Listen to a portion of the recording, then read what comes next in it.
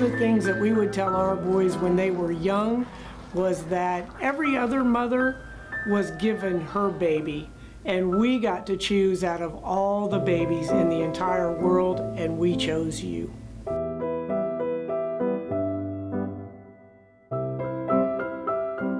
So in our house, we celebrate Gotcha Day, and that is the day that we were able to adopt our boys, March 17th. Such a wonderful, wonderful day that really changed our lives forever.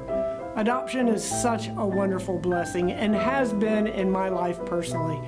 My boys were adopted when they were 19 and 21 months, and unbelievably, they are 21 years old and remain to this day the greatest joy of my life. So to all of the adoptive parents out there, you understand the celebration of Gotcha Day. And to those who are contemplating adoption, please do so.